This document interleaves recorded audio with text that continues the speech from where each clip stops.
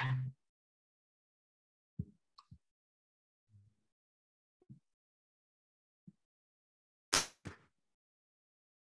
can't you guys see that?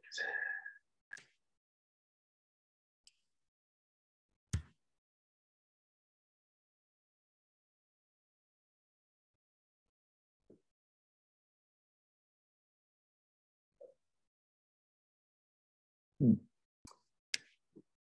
Why can't you see that? Let me through that. Okay, cool. All right, let's try that.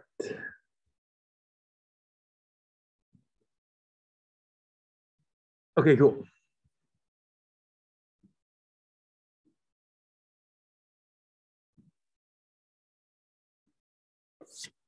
All right, everybody. So let's uh, let's get going. Hope everybody had a good uh, Turkey Day and a, and a restful um, few days off, and everybody's healthy and all that good stuff.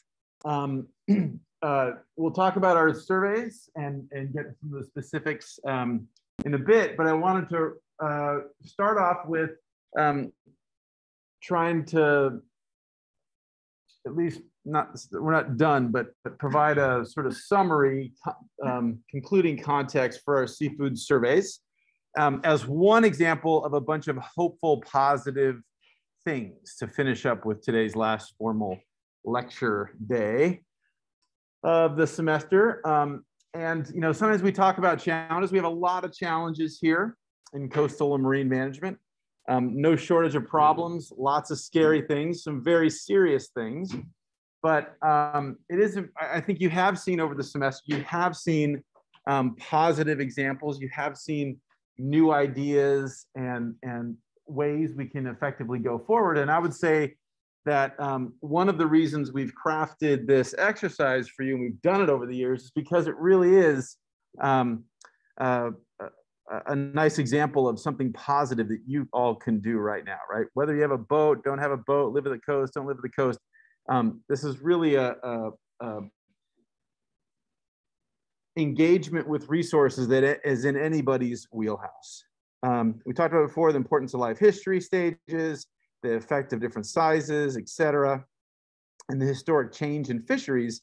And as we said last time, right, our overall our overall motivation here is, is what seafood is, is being sold and, and can people that just walk off the street, can they um, make a more informed decision with the, the offerings at that particular establishment that you're um, looking at? Obviously there's other, other questions we're looking at, but th th those are the, those are the big mile high ones. Um, ultimately, what we're talking about here is trying to craft a more healthy, vibrant, verdant ocean. Let me turn these lights down.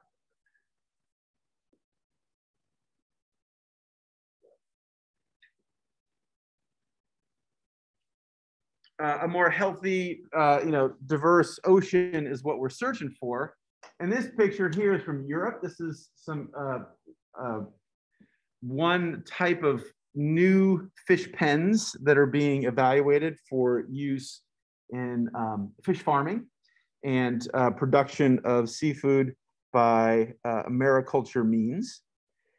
And jumping off from this paper last year by a, a, large group of, of fisheries scientists, um, they think it is possible that we can have an increasingly healthy, increasingly diverse ocean, right?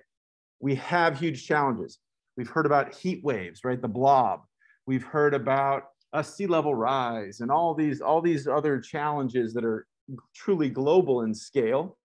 Fisheries also a global in scale problem, but nevertheless, uh, uh, some very tangible examples of how we can um, do better. Uh, first and foremost, we can continue to improve fishery management. As we talked about last week in in lab, um, you know, we have a lot of stocks that are problematic. We have a lot of stocks that are maximally fished and or overfished, right? And that's and we've been doing that as a species for thousands of years, right? So we've we have a history of depleting populations, whether it's the Polynesians arriving to Hawaii, the Europeans getting North America, you know, we, we can pick whatever the example, but it seems to be a general aspect of our society. Um, and so so uh, we can do better. We we we have gotten some clues as to how to do better with things like marine protected areas, et cetera. Um, uh, so fishery management in general. And then secondly, specifically improve things related to mariculture, especially in places like California, right? Again, uh, the, the factoid I've, I've, used a couple times because it just seems so, so right on the head with our um, Central Coast trip was 11 abalone production facilities across the state um, about 10, 15 years ago, and now we have three, right? So, so that's not um, that's not just by accident. It, it is quite difficult to start up a mariculture business here in in in the U.S. in general, but especially California, and to keep it going and to have it, you know, promptly uh, uh, uh, properly um, supported with, say, if we're bringing in seawater or or food or uh, kelp or whatever it is we need. So we really do need some better policy support for this. Um, this isn't just related to, to seafood, but, but um, that, that's a big part of it. Next, as also as we touched on briefly in lab last week, um, a key thing as we continue to, to push more protein coming from cultured sources, um, and because we, we, as we've talked about, we Americans in particular and and and and, and Japanese and Europeans are sort of the largest consumers of seafood around the globe. We really like the um, the predatory fish, right? The omnivorous fish, and so um, we we've made some advances, but we need a lot more in terms of the feed, in terms of the food we're giving to these critters, that we're not depleting wild stocks to turn into fish meal to feed to them, right? So so still need lots of improvements in that context. Um, and then uh, the last one uh, that these guys suggest in this paper is to shift consumer demand away from the most problematic stocks. And that's exactly what you guys are doing with your seafood survey, right? So one, as we've mentioned, one, we're collecting data and just sort of getting the sense of what the lay of the land is here in Southern California, coastal Southern California, and that's a useful exercise in and of itself. But also, uh, the very act of you saying, right, hey, so how many people ask about this? And then when you're looking at that menu or that or that item on the shelf or whatever, and you're saying like, hey, what species is this, right? That's providing a signal to the the owner, the proprietor, the workers, whoever, that this is something that people care about, right? Um, if it's just you, probably not going to make a huge, big, huge dent. But if it's you and somebody else next week, and somebody else the week after, and somebody else the week after, the next say staff meeting or next what what have you meeting, um, you know, people will uh, say, well, maybe we could, you know, think about getting, figuring out where the, what this fish actually is instead of just saying unknown fish from this box that we get delivered every week or whatever, right? So that that the very fact of asking questions um, is uh, uh, to some extent helping to to push us towards more, push us away from more problematic stocks into more um, more positive and, and healthy stocks. Um, okay, uh, why eat seafood to begin with? We touched uh, on this a little bit last week in class, but I wanted to make sure we went over a little more detail. So uh, seafood is the healthiest protein around um, uh, in terms of, uh, definitely in terms of animal proteins, but also in general, just in terms of protein to calorie ratio. So seafood is really, really good, uh, or, or at least seafood can be really, really good. Um, the other uh, reason why um, seafood is something we should, um, I would argue that we should be concerned with and, and, and working on um, increasing better, safer, healthier supplies of this food item is that they also tend to have a concentration of relatively rare micronutrients and, and other things that uh, aren't found in other proteins. So for example, uh, there's trace things like selenium that we need, but then the, the biggest one that gets the most attention are the omega-3 fatty acids. So these are essential, th th these are key parts of our building blocks. If you remember back to your intro bio class, um, we talked about tissues and all this and that. Um, a lot of this, these omega-3s, so firstly, we don't make those. You and I can't make them. So we have to get them from eating um, other, consuming something outside of our body, right? And that those materials, in particular these three fatty acids, which are the most, uh, DHA, DHA is the most um, I would say the, the, the biggest one, but they're all pretty important. Um, and uh, we use that when, when our, our, you know, our cells are building tissues and, and integuments and that kind of stuff, um, as well as in other uh, physiological processes. And um, generally speaking, most of our seafood has a much lower environmental impact and a lo- and and definitely a lower carbon footprint or what we call fin print um, than many other sources of um, certainly of meat and and many other sources of, of food in general actually. Um, so we talk about land versus ocean provisioning. Um, it, it, should be obvious, but just to be clear, our wild caught fisheries, our wild caught seafood doesn't need any land, right? So if we're just going out, throwing a hook in the water, picking up the critter, we might well be over harvesting that population, let's say. That's a possible, that's a worry. But as far as the actual impact of the of the getting of the, the animal, it's relatively minimal. So we're not using fertilizers, we're not transforming the landscape unless we're doing bottom trawling, uh, in around sensitive habitat, which is which can happen. But by and large, that's that's not what's going on. Um, and if we talk about uh, the so similar to our conversations about terrestrial mining versus deep sea mining, right? Um, unfortunately, we're not in the place where we can just say, hey, let's not do that at all, right? We have billions of mouths that need to be fed every day, right? And so we need to get food from somewhere and the reality is that terrestrial food and, and food related uh, crop production is, is either the largest or, or, or tied or very close to one of the largest um, drivers of ecological fragmentation and outright destruction. So right now, 36% of all terrestrial landscapes across the planet are used for food production for you and I. That could be either um, croplands, uh, could be um, orchards, that could be uh, gr great pastures for, for grazing cattle and things. Um, and if we look at the land that's potentially usable for, um, for agriculture, like theoretically, like if we just sort of got rid of everything else and just made it pure, pure ag, um, we're already using more than half of that possible land uh, right now, or these facts came from a 2016 paper, I think. So, so um, anyway, it's it's it's a lot. And then importantly, the vast majority of potable water, surface potable water, um, is going to support agriculture directly or indirectly. So, so huge um, consequences from our terrestrial food production uh, systems. Um, generally speaking, the CO2 emissions are similar to, and in some cases better than plants, so, so better than a plant-based diet. Um, we talked a little, we touched a little bit on um, Seaspiracy in, in lab last week, and and what I believe are the silly, much of the silly claims and ridiculous factoids and the gotcha stuff for the sake of gotcha and the racist stuff and all that jazz. But but um, uh, that was really produced by folks that have a, a particular political agenda that wants you to eat um, or that want the want to convert more people to a vegan based diet. And you know, if you guys want to do a vegan based diet, awesome, knock you out.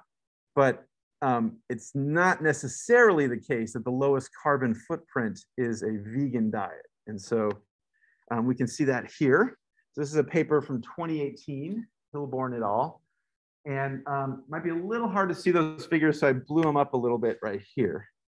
Um, and so what we're looking at here are um, uh, uh, the emissions associated with um, different uh, uh food production or different food crops. So um, if you're in the back and you can't read it right here, we have uh, carp, um, freshwater fish that um, uh, several species of which are, are cultivated in a, a pretty uh, cool approach that that was um, piloted in uh, China that really has uh, so for example flooded rice paddies you can have for example three different um, food guilds of carp you have sort of like the guys that graze on the bottom sort of folk guys that are feeding on the middle of the water column, and then some of these guys that are feeding on sort of insects and stuff at the top of the water. So it can actually get pretty sophisticated. But suffice to say, so that's carp, catfish, another very um, uh, commonly grown um, uh, fish, especially in places like the south southern U.S. Uh, mollusks, salmon, shrimp, tilapia. We actually haven't talked about tilapia in here. Uh, that's that's probably my bad. But so um, so anybody want to give me a quick uh, 30 second overview what they know about tilapia? Yeah, Jay. Um, yeah.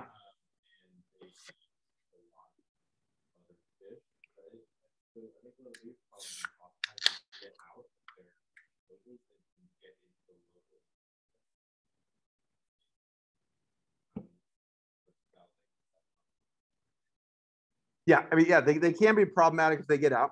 Um, mostly the cultivation is not in, in open water, but they're in small ponds and pools and, and things of that nature. Um, they have a really wide range, uh, a wide salinity tolerance range, so that you can grow them in, in you know brackish water, sort of saltier water, fresher water. They're, they're, they're pretty amazingly robust. Um, and so you'll find places in say like the Philippines and Southeast Asia where they're growing them in like a 55 gallon drum kind of thing. So they're, they're pretty um, they're pretty hardy critters, um, and they're they're a, a huge um, they, they've grown tremendously in the last 15 years in terms of global uh, aquaculture production.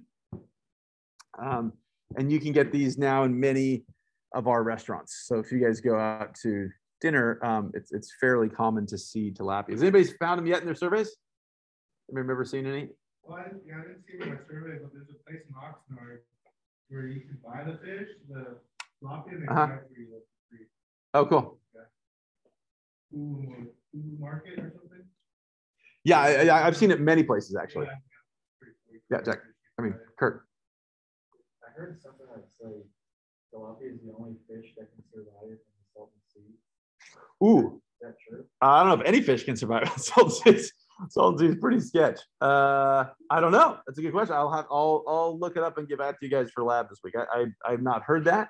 That seems to me a, a, a statement of this place is so crazy. Only and then like fill in the blank. Keith Richards could live there, right? You know, that that kind of thing. But um, but I I do not know of any tilapia living in the Salton Sea. But um, I think again that probably came from the fact they have such a wide tolerance uh, that they can handle skanky, nasty, horrible areas. That's probably where that's coming from. I'll, I'll look it up. I'll, I'll, I'll, explore. I'll get back to you guys. Um, okay, and then as we go on from the left there, keep going. Then we get into more of the terrestrial um, uh, uh, meats and, and, animal products. So beef, chicken, eggs, lamb, uh, milk, and, and this is this is CO2 emissions, and this is the embodied energy to to produce them. So they're obviously, you know, pretty, pretty related. Um, uh, milk, pork, and then we get into plants. So corn, um, potatoes, rice, soy, wheat. And then we get into um, other uh, seafood.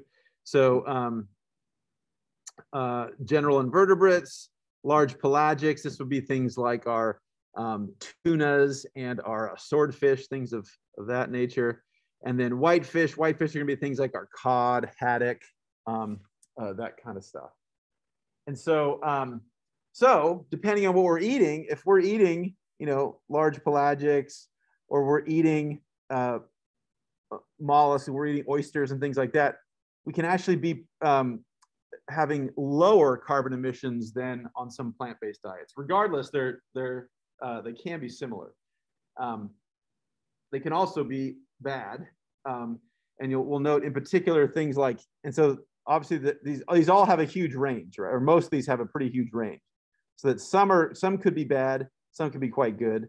But note that the catfish, um, uh, of all of the of all the seafood, with the possible exception of shrimp, which is also um, oftentimes farmed, um, that guy's really high, right? Everybody else sort of goes quite potentially quite low, except for catfish. So catfish is very uh, energy intensive, um, and uh, and and so therefore it has relatively high uh, carbon emissions. Cool. Um, so we talk about uh, to, again to wrap up this terrestrial versus marine stuff. Um, uh, generally speaking, um, random. If we just pick some sort of random livestock production, that's going to usually need less energy than uh, most typical intensive aquaculture. So not the kind of aquaculture where people dropped off um, oysters in the estuary, but the type of active mariculture um, that we were not able to see on our trip because the abalone farm shut down in COVID. Um, but uh, things like these tilapia production facilities, commercial scale, scale tilapia production facilities, things like um, uh, catfish production facilities, et cetera, uh, do tend to use a lot of energy. And, and as I say right there, farm catfish, shrimp, and tilapia use the most. And, and that impact is primarily coming from the fact that in a commercial set, if you're just growing a couple in your backyard or in a pond for sustenance, you don't need to do a whole lot. But if we're doing commercial scale production, we're trying to supply, mark, you know, consistently supply markets or whatever, we have a, a certain abundance that we want to be producing. Uh, and so that's going to mean typically a lot of electrical pumping um, and a lot of uh, you know running of water and moving of water masses. And so that you, of course, we could theoretically have solar panels or wind turbine and and get our electricity that way, which would be you know carbon neutral essentially or close to carbon neutral. Um, but the default uh, production facility is not set up that way. So so we're talking about traditional energy sources here to run circulation pumps. Um, catfish is similar to beef production in the US in terms of the greenhouse gases per, per kilogram of, of, of food that we've produced. So, um, so beef is relatively high and catfish is relatively high. So as with everything, there are exceptions. So even though generally speaking, you know, uh, we have lower emissions with seafood, not all seafood items have low emissions. So, so to summarize all that, I'd say the best choice if you were trying to choose, not that you have to do this, but if you were interested in choosing a low carbon food, low carbon protein, um, things like uh, uh, those small schooling, relatively highly abundant fishes uh, in our coastal waters, like anchovies, like sardines, etc. Um, farmed mollusks, so that's going to be our uh, oysters, our mussels, um, oysters, scallops, um, and then uh, the fish that are also quite abundant. We get from places like Alaska primarily, um, which are these cod and haddock like fish um, that are relatively well um, uh, farmed and or me, relative, relatively well managed. Um, these are these are wild caught. These are not farmed. These are wild caught species. And then um, farmed salmon um, can be quite good depending on which which supplier we use. And then uh, and and chicken. So that so that sort of rounds out if you if you wanted to have sort of a, a meat based diet, but we're we're shooting for lower carbon emissions, those are some starters for you. Okay, questions so far? Questions about any of that? Yeah.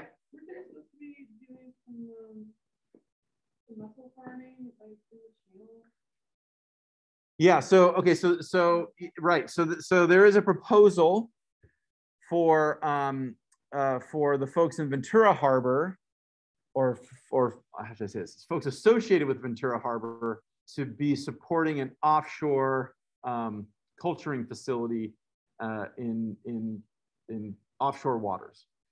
Um, so not, not tight in, not in the harbor, but you know, out, out in the open water, out in the open ocean. Um, it's still going forward. Uh, I, we've not talked about it because it's sort of continually evolving.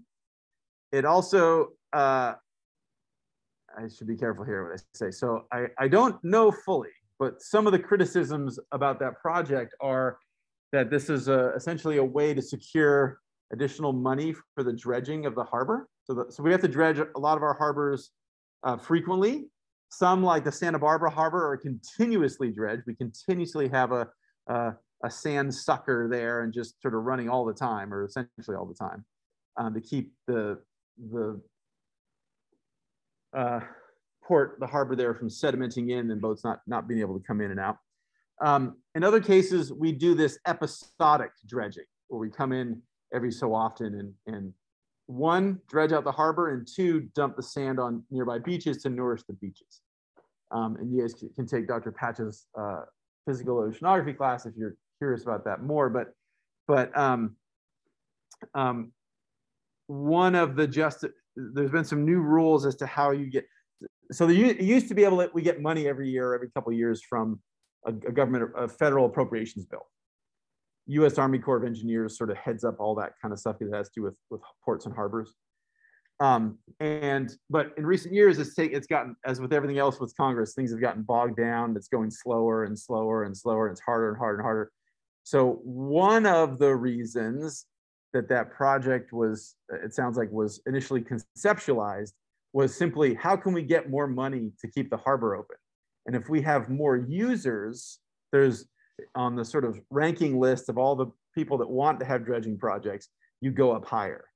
And so Ventura was worried that, you know, historically we had a lot of sea, a lot, a lot of fisher folks in there, and that on the writing on the walls, like there's fewer and fewer every year. And so the notion is if we have a mariculture thing, one, that would be a, a consistent source of seafood, which is a good thing.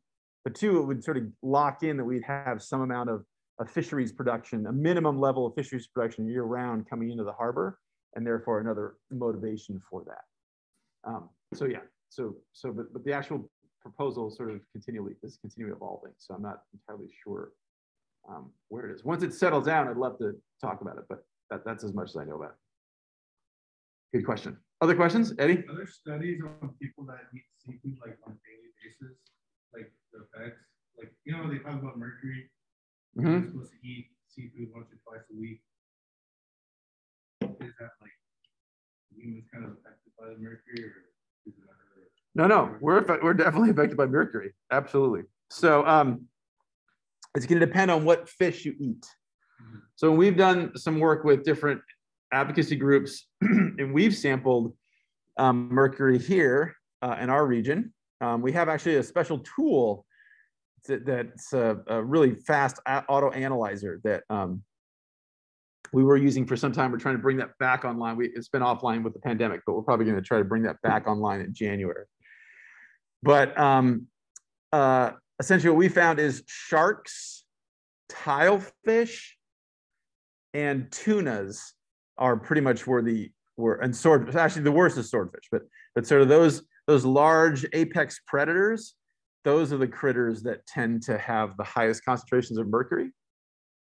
These other things that I was talking about, the Kodak, the, the oh my God, I must be tired. Uh, the, the haddock, the cod, the sardines, those kind of fish, essentially no, no mercury in those types of fish. So it's not so much that you should or shouldn't eat certain types of fish, but you should you should have a look at that if you were if you were um, frequently consuming seafood.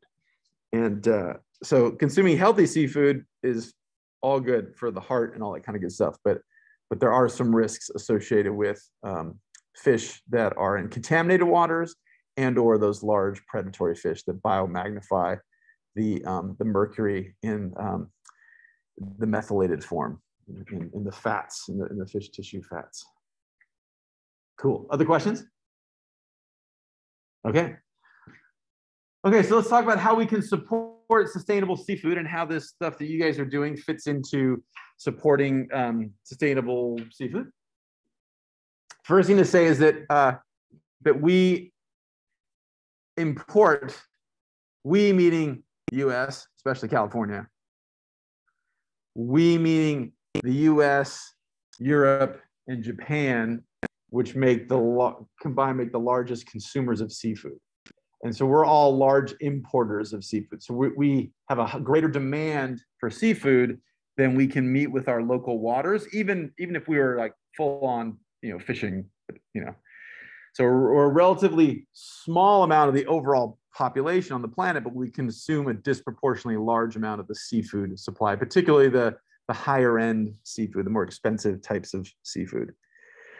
Um, so uh, first, the first thing you can do is to purchase seafood from a robust country, democracy, transparency laws, all that kind of stuff.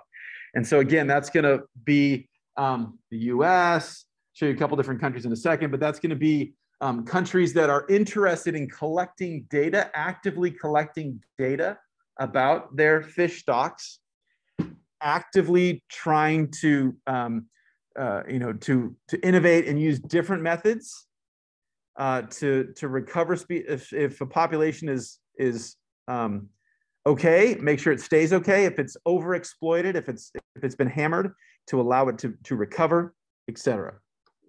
In the U.S., some of the key laws, for example, are the Magnuson-Stevenson Act, which we actually didn't talk about this semester very much. I'm happy to talk about it more, but um, some years I, I, go into detail on that. But but suffice it to say, that's our that's our main federal fisheries act. Um, the Endangered Species Act, uh, National Environmental Policy Act, the Marine Mammal Protection Act. All these things have have some impact in terms of our fisheries. The biggest one, though, at the national scale is going to be the National Oceanic and Atmospheric Administration, and specifically the division within NOAA that handles um, seafood and fisheries, which is the National Marine Fisheries Service. So everybody calls this NMFS as if there's an I in there. So National Marine Fisheries Service, NMFS. A couple years ago, they decided that was too weird a word and they wanted a simpler word. So they started calling this division within NOAA NOAA Fisheries. And it, as with other changes, when we've been doing things for decades and decades, it sort of didn't really take. And we're kind of now back to using the term NMFS. Um, so you might see NOAA Fisheries or National Marine Fisheries Service, same, same entity. Um, and so that's the that's the group that that collects all our data. That's the group that does the sort of you know calculations for stocks and how are how are how are things going. And in recent years, they've really taken a big push for so-called ecosystem-based um, um, management or EBM. This is different than the traditional fisheries that we've fisheries management that we've traditionally been reading about and the examples we've seen, which are, oh my gosh, abalone. We got to manage abalone. How many abalone are we going to take out of the ground? Because we want to figure out how many abalone we'll have next week because we want to know how much abalone, right? It's all about this, this species the species of this individual stock, stock, stock, stock, stock, stock. The, the idea with ecosystem-based management is, yeah, you know, we want to know how many abalone we're sucking out of the ocean and, and right, all that. But to properly manage this, this critter, this critter is a part of its ecosystem. And so simply only modeling what, you know, the numbers of the abundance of this organism over time, that's not going to do it, right? Because this abalone has impacts on other things, maybe sea otters, maybe maybe urchins, or you know whatever, and those things are going to have impact. So so it's it's more of a holistic management approach. So rather than just use um, a, a, sort of reductionist, what we historically call a reductionist approach, it's more of an integrative, ecological types of a, types of an approach. Um, very easy to say, harder to actually implement in the real world. But nevertheless, that's a that's a big push in the last about 20 years with within NMFS. Um, and then another thing that has come out of the Magnuson-Stevenson Act and, and, the and the reappropriation of it over over the years uh, is this notion of regional fisheries management councils. So rather than one um, one office in I don't know DC or something managing all the fish stocks, we have these regional councils. And while they have representatives from NOAA, they also have representatives from industry, both the, the sort of fisherman type part of the industry, as well as the seafood producer type elements of the seafood industry, um, academics like you and me, environmental groups, um, et cetera. And so, um, uh, are we perfect? No. Do we screw up things? Of course. Uh, uh, you know, do we have problematic stocks? Of course.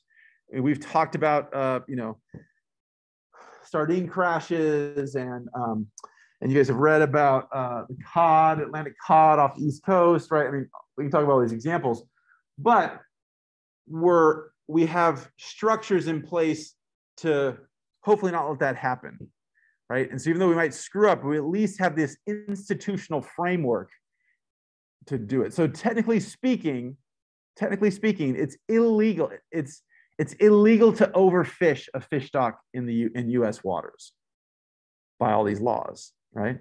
We still do it, but but at least we're starting from this framework of this is not the right way to behave. Uh, another key part of that. So one is to choose. You know, the first step is to choose seafood from a, a country that has relatively robust laws and enforcement and, and those mechanisms. Next, this, this traceability idea of country of origin labeling or COOL laws. Um, and we have those here. Um, these were these were passed. Uh, these were crafted starting in the 90s, and then sort of came to pass basically in the early 2000s.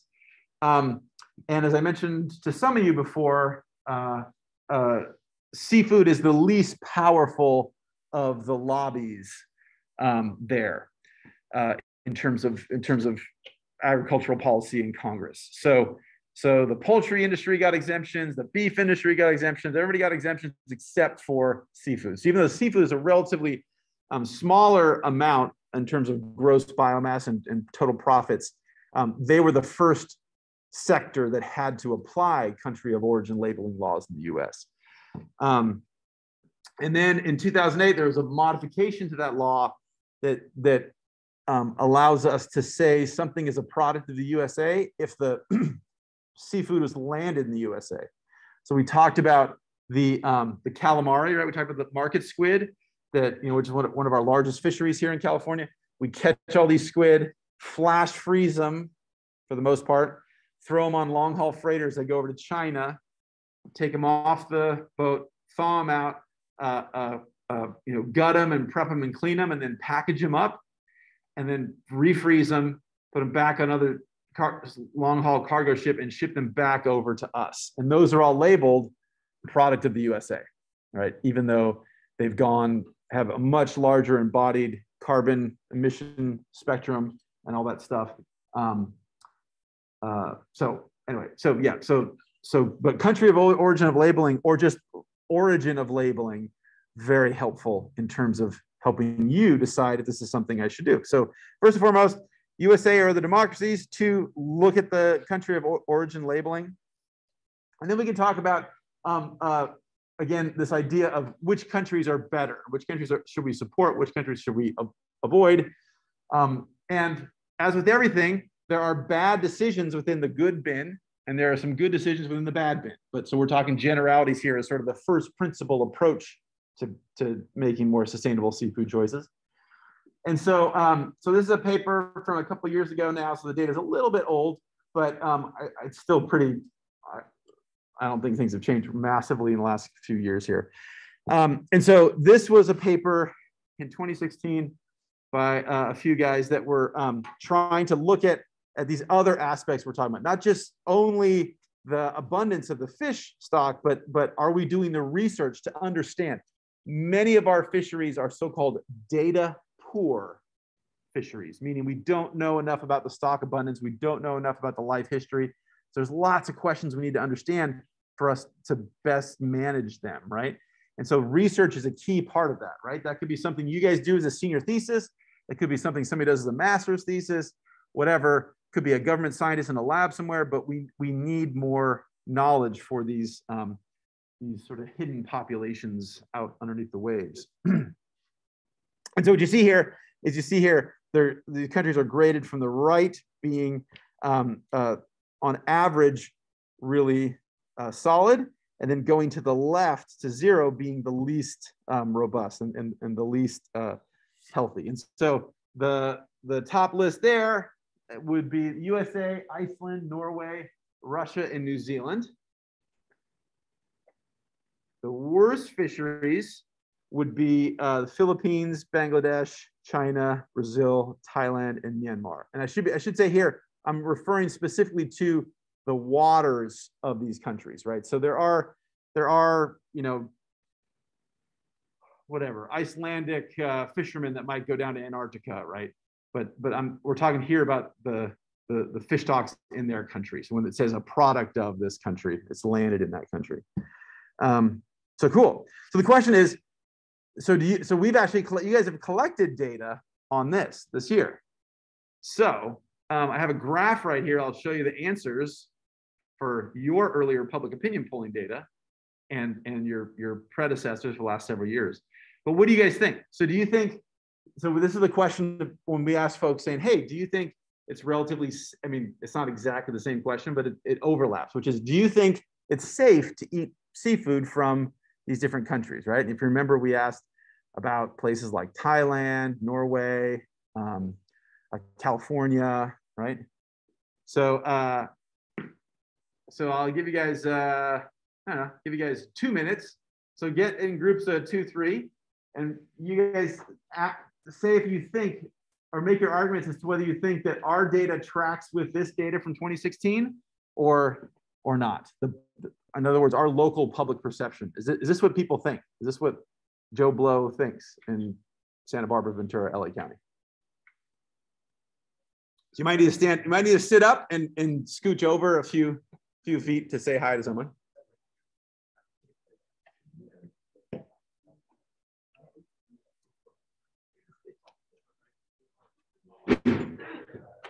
Oh, sorry.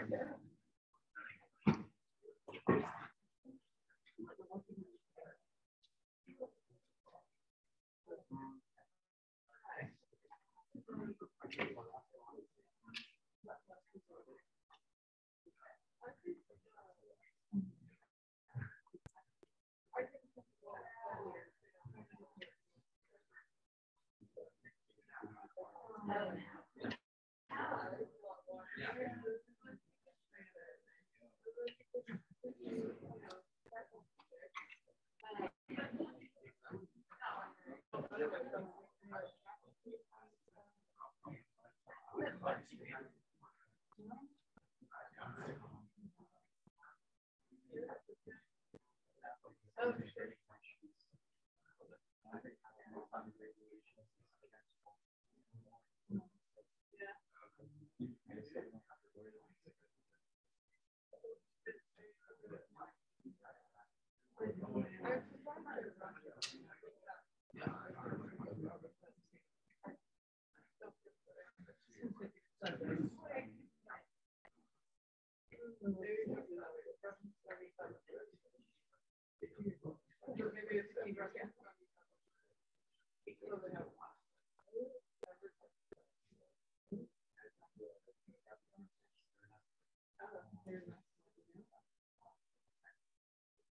Mm-hmm.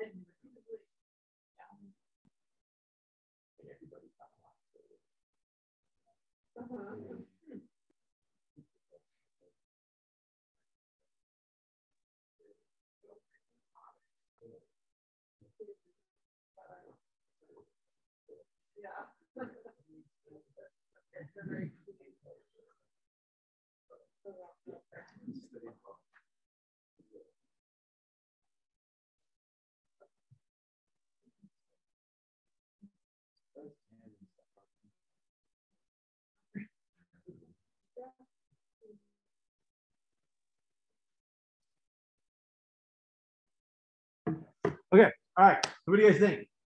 What do you guys think? Do people generally generally track with this? Do the, do the public think this way, or do they think uh, unrelated to this broad pattern? Okay, so I got to vote for unrelated.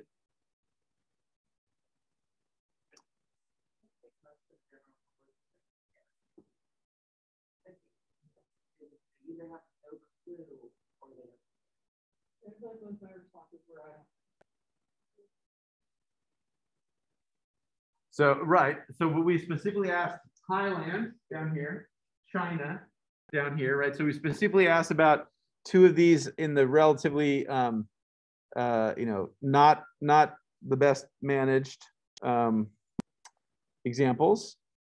We asked about Norway, and then we have obviously examples in the US, Alaska, California, etc. Uh, we asked about Norway. Um, we, uh, what else did we ask about? Oh, Gulf of Mexico, or Gulf of Mexico, what did you say? Yeah, oh, that's right. Thank you. Japan. So Japan, which is sort of midway in here. Um, uh, and I should say this isn't all the countries of the world, right? These are just sort of seafood producer countries, uh, the like sort of top seafood producers. Um, okay, so let's see what the answer is. Oh, look at that graph. What? Okay, so um, this is over time. So this is the average and the standard error.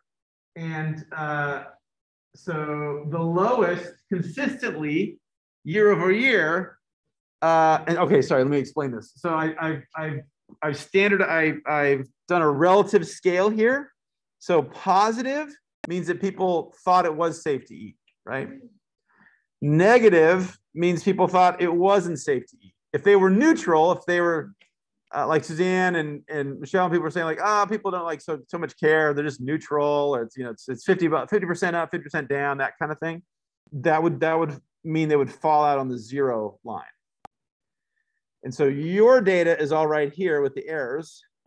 Um, and so because we didn't ask this question last year because of the pandemic uh, uh, issues, um, there's the the line's a broken line here. But um, and, and also I should say that we didn't always start asking all these, we sort of added some of these questions or these categories after the fact. The most classic one would be this little pink triangle of Orange County, which we did not separate from the rest of California until this year with the oil spill. We're curious how that worked out. But okay, so here we go. So here's China, right? Low. Most people don't think it's particularly safe, right? Um, uh, I don't know which one I want to say is next, but we can start with uh, the Gulf of Mexico, right? So this we start asking this in the wake of the Deepwater Horizon oil spill. And so back then people like, yep, nope, ain't safe to eat that, you know, seafood from that oily part of the world. And so it slowly climbed up, took about five years or so, but now it's it's it's relatively stable, right? And so now most people would say, yeah, it's it's not as as viewed as positively as say Alaska, this blue line up here, but nevertheless it is positive and it's it hasn't changed much after that recovery period. Okay, Japan. Japan was in the middle, right? Remember of that of that ranking. And so starting off again, started asking this question in the wake of the Fukushima uh, disaster. So obviously, again, a lot of press, a lot of concern, a lot of worry in this case about radiation, not oil, but radiation. And so we start off and it's relatively low and it takes about seven years or so to recover, but it, it's maybe sort of stabilizing now, right? In the last couple years, it's it's been in the always been in the positive uh, range. Um, we could talk about Norway, which is a relatively high one, right? Norway was one that is, is pretty well up there. And Norway has been pretty solid. So here's, it hasn't really changed much for year from year to year to year. So on average, you guys might be, you guys are right. A lot of people like, I don't know, but of the people that have an opinion, we seem to do a fairly good job of tracking this, this, um, you know, much more in-depth research in terms of research and and, and health of stocks and things of that nature. And then just to round it out, because we're here, again, that graph I showed you wasn't broken down in sub areas, but obviously Alaska has a very high rating, and that's that's crafted um, one because the fisheries are well managed, but two because of a very very active PR campaign to trick, not trick you, that's not right fair thing to say, to convince you that Alaska is pristine and clean, and everything that comes from us is pristine and clean, and so we are pristine and clean and, and we're, we're crisp and fresh and healthy. Um, don't worry about that copper mine and all that kind of stuff. But but so so um, so that's relatively uh, so consistently people think that Alaska seafood is safe, good for you, etc. California overall, again, initially we just asked about California, we didn't break it down until the 2015 Refugio oil spill, this dotted one, where we started asking specifically about seafood from the Santa Barbara Channel, so Ventura and Santa Barbara County seafood and that started off with a dip and then recovered and has pretty much been okay, although it has gone a little bit down the last couple years. and then um, and then again this year we we started asking about Orange County, and Orange County was is lower than that because re- recall we started doing the survey right in the wake of the of the oil spill. Um, so yeah, so there you go. So generally speaking, I would say that that that does a fairly good job of tracking this this uh, um, much more rigorous academic um, stab. Cool. Okay. Um, continuing on, uh, questions about that? Make sense? Yeah. Okay. Cool. So then, uh, continuing on, this idea of, of being uh, actively supporting sustainable seafood and all that good stuff. Um, generally speaking, uh, shellfish are going to be pretty solid options if you wanted to have a, a, a low carbon diet and relatively, you know, not super impactful diet. Things like oysters, mussels, and clams are going to be the thing to go. And this is another uh, visualization from a more recent paper, but looking at the uh, greenhouse gas uh, emissions relative to the nutrient density of these foods. And so um, over, over here in the green are, I should say over here, over, I should stand here. Over here in the green are, are plants and fungus, the green colors, the, the sort of uh, avocado colored guys. And then the capture fisheries are up here, um, small pelagics, again, those sardines and, and anchovies and those kind of things those guys come out really pretty low and only um, only roots do better than um, small pelagics in this uh, assessment, this analysis. Um, okay, as we mentioned uh, last time, the, the I, number next would be to, to understand and use some of these guides, certifications and guides, right? Again, um, you can become an expert on this, which would be totally cool and a, a great thing to do, all kinds of jobs uh, available for folks that are interested in doing this kind of green accounting and and and that type of an approach to um, sustainability. But you know, most of us aren't going to become the world's expert on squid or what have you, right? So so take advantage of these um, tools that are really trying to get do the hard work for you and have the experts dig in um, you know, so you don't you don't necessarily have to spend weeks and weeks and weeks digging into stuff. And so again, the we have the green guides and the certifications. The green guides are something you can use as a recommendation, right? Whereas the certification is a seal of approval, a third party or, or what have you, um, actually going out there and um, saying, yes, this is cool. Uh, we've talked about uh, the Marine Stewardship Council, MSC, on the left on your screen.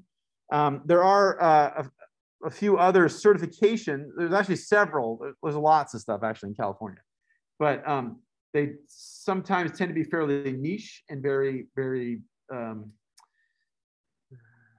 kind of idiosyncratic.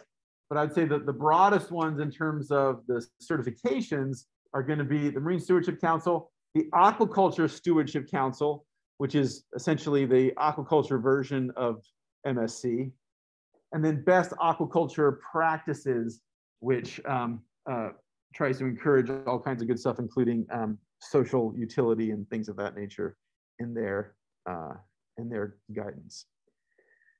Um, then number next you can do is, is support uh, local reliable seafood suppliers.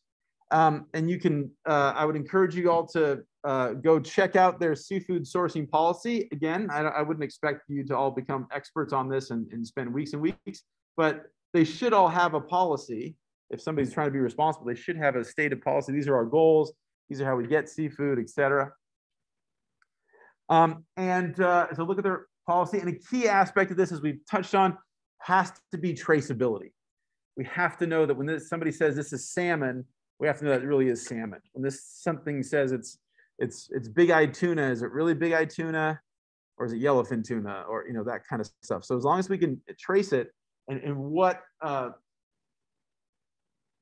what policy do these food providers have? And it turns out that um, so one of the big controversies uh, a couple of years ago was um, Walmart, and when Walmart started getting into uh, or getting initially expressing interest in getting into sustainable seafood, a lot of people like, wait, what? It's they're not granola or crunchy. Like, wait, they can't do that. And You know, it's like, why not? Like, well, because they're Walmart and they're like evil by definition, right? And it's like, hey, if we're trying to move the ball forward, we're trying to get everybody to behave better. It's a win to get one of these big, large industrial purveyors um, to to exert better social responsibility and, and sustainability and stuff. Um, turns out the there's a lot of people pushing for, and I'm not trying to pick on Walmart, but they just stick in my head for some reason today. Um, uh, what persuade what, what ultimately was was super helpful in persuading Walmart was not that we don't want to screw the planet over, was not climate change, was not any of that. It was, it turns out that poorly managed fisheries are crap for business. Shocker, right? So when we're we're raping and pillaging and crashing the numbers down, that works well for a couple years. And so maybe if you're a mom and pop shop over here, maybe you're not going to sell shrimp anymore because the shrimp's gone, right? But if you're Walmart that plans out their supply chains for years in advance, right? And wants to lock people that supply them into these long-term contracts, it turns out that that having their suppliers use sustainably harvested, well-managed seafood supplies is actually good for the bottom line, right? Because you know that you can you're going to have X number of pounds of shrimp or whatever, right? So they originally brought into it for a business reason, and obviously I, I wouldn't say they don't, they don't care about climate change and that stuff, but, but the original initial hook was just you know reliance, reliability, consistency, which is what their their corp- corporation is built on. Okay, uh, and I would say in our in our area, um, a few examples. I'm not trying to exclude anybody, but just some examples of folks that have um, a pretty pretty robust, um, either pretty darn good or getting better a lot very fast would be um, Costco, Whole Foods, Trader Joe's, Albertsons, Kroger's. One of the best suppliers around is going to be Santa Monica Seafoods, although you typically don't. They, they do have a store. They have a couple stores, but, they you don't usually see them. But they supply seafood to restaurants and other and other markets and stuff. Um, so they're they're um, a fantastic uh, leader in trying to be more transparent and when they deliver their seafood to the restaurants, they all get a guide. They might not use it, but there's a guide that says where the fish came from, how well it's managed, um, um, all that kind of stuff. So, so anybody that gets Santa Monica Seafoods fish um, should be able to answer all your questions on that on our, our survey, right? Where does it come from? What's the species, right? They might not choose to go look it up, but it is available to them um, at, at, for all their suppliers. It's not it's not a paid service. They just do it for all or the vast majority of their um, fish supplies. Okay. Um, yeah. And so then ultimately, then the last little bit is just to ask, right? So so those sort of general principles, you know, purchase seafood from a, a, a robust country with enforcement and all this and that, and blah, blah, blah. But ultimately, it's about you guys asking. So when you're doing these surveys, again, you are helping uh, move the ball uh, forward in terms of getting us to think more about sustainability and, and seafood stuff. And with that, I think it's time for a break. Take a 10 minute break. and I will see you guys back here in 10 minutes. What time do I have? I have, I have 903. So we'll start at 913.